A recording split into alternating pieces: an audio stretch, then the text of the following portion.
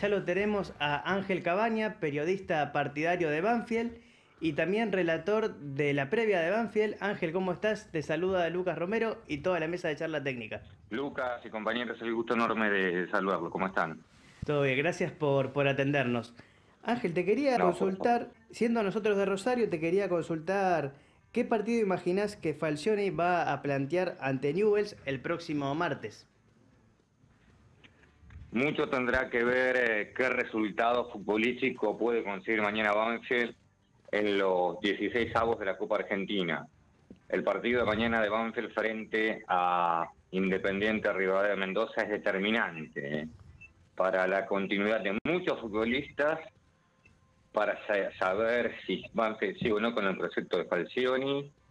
Eh, se definen muchas cosas en el planeta Banfield mañana para saber qué puede pasar pensando en el partido frente a Newell's Solero Rosario. Se define muchas cosas y dentro de esas puede llegar a estar eh, la continuidad de alguien tan querido en el club como es Julio César Falcioni. Por primera vez en la historia me animo a decirte que sí.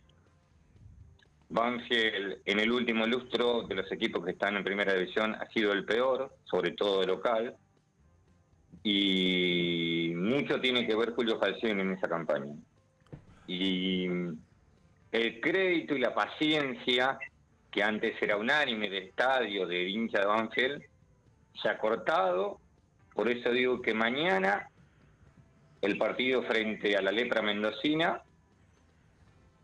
es clave. Banfield gana, Banfield pasa, enfrentaría luego 31 años a Talleres de Remedio Escalada en octavos de final de Copa Argentina, habría un poco más de tranquilidad, de paz y se podría, podría encargar partidos frente a News de local eh, una forma más extendida. Ahora, si Banfield no cosecha un buen resultado en el Kempes, y no, no exagero en decirte que la cancha de Banfield el próximo martes frente a Newell va a ser la sucursal del infierno. Ángel, buenas tardes. Te saluda Lautaro. Eh, con todo respeto a, Falcioni y su trabajo, esto, sabemos cómo es el fútbol argentino, si le llega a ir mal en dicho partido, eh, se podría ir.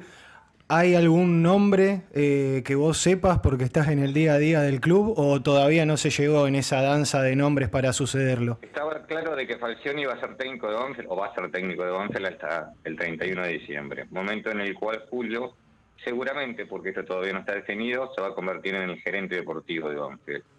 Y Falcioni por estos tiempos manifestó su buen diálogo, y un buen trato con Rubén Darío Insúa, que en su momento eh, hicieron el curso de técnico juntos.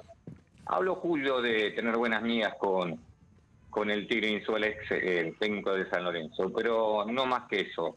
Banfield apuesta y espera por la recuperación del equipo, un equipo que hace mucho tiempo no aparece, mucho tiempo no aparece, y definitivamente, mira que es, amplia la paciencia del hincha Banfield, ¿eh? se terminó. Se terminó la paciencia del hincha Banfield. Ángel, te agradecemos el tiempo que nos diste para la nota de hoy, eh, te deseamos lo mejor y te estaremos molestando en cualquier otro momento. Pero por supuesto, no hay ningún tipo de problema y seguramente el lunes estaremos en contacto hablando de cómo formaríamos frente a el poderoso equipo del, eh, eh, Parque de la Independencia. Ahí estaremos en contacto. Bueno, muchísimas gracias, te, te deseamos lo mejor y bueno, gracias por todo. Un fuerte abrazo muchachos. Abrazo. Ahí lo teníamos a Ángel Cabaña, periodista partidario de Banfield.